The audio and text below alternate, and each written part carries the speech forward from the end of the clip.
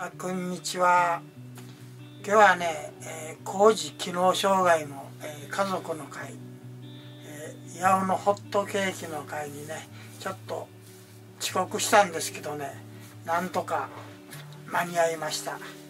で新しいね人も何何か一人かな 一人か、まあ、年がなんか近い人。その人多分脳出血と思うんですけどね。僕と同じで、えー、左麻痺。で杖ついてまあゆっくり歩く。そんな感じの人です。年はねよ4人とも向こうの多分3つ4つ若いと思います思いますけどね。で今日は久しぶりにね去年から緊急事態宣言いつからかもう忘れたけど何しか去年からから4ヶ月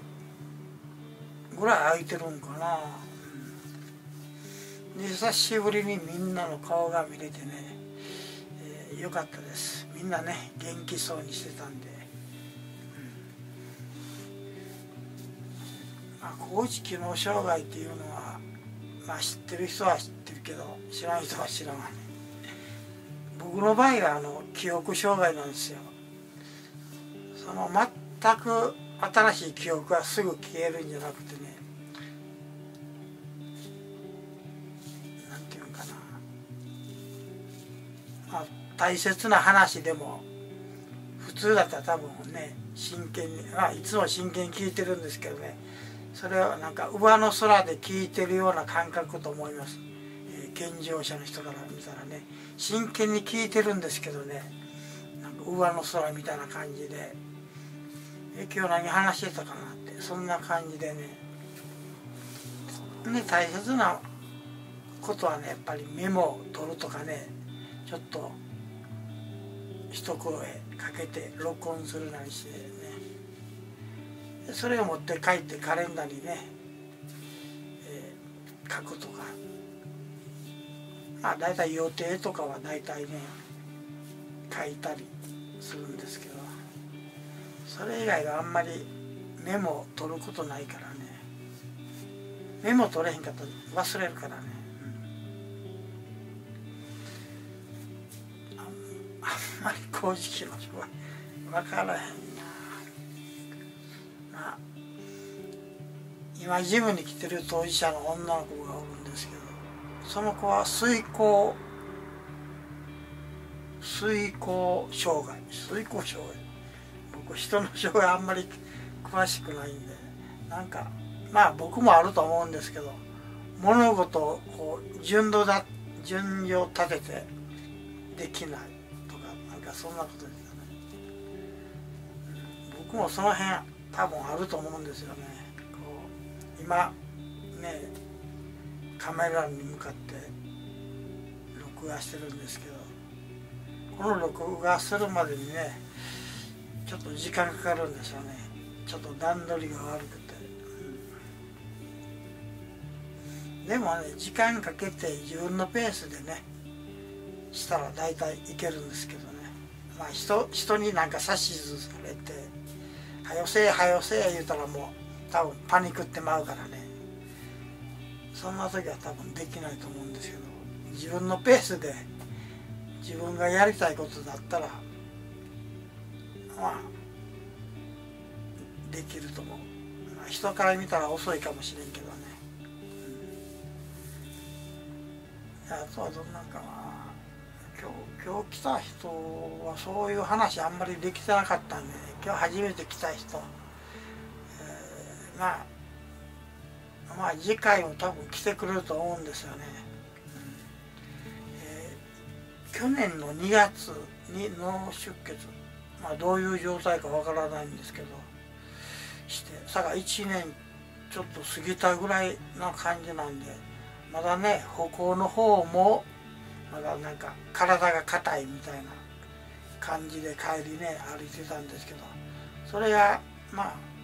2年3年となったらだんだんこうねスムーズに歩けるようになると思うんですけどね。まあまだねほんまにあ発症してまあないなって見た感じねそういう感じましたね、うん。まあ、1年ですからね、うん、まあぼちぼちねリハビリ無理のない程度にしていってもらったら多分もっともっとね歩けると思う。まあね麻痺の方の足ねあの出るんでね僕らみたいに脳梗塞の人は大体なんか足が動かないからなんか振り子みたいにぶん回すんやけど脳出血の人ってなんか足足前に出るんよね。ちょっとその辺がそういう傾向よく見るね。だから脳出血の肩麻痺の人って案外歩くの早いんですよね。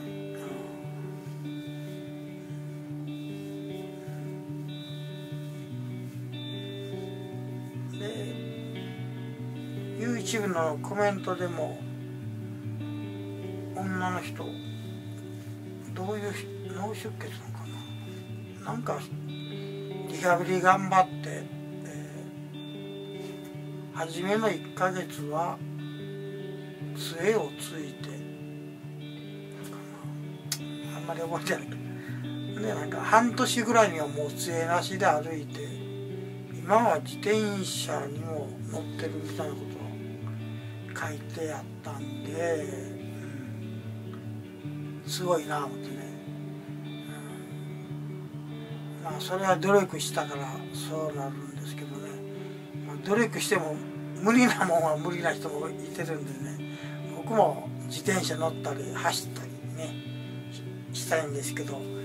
10年経っても 全然できてないんでね。まあねリハビリ頑張って今よりね悪くならないようにね夢だと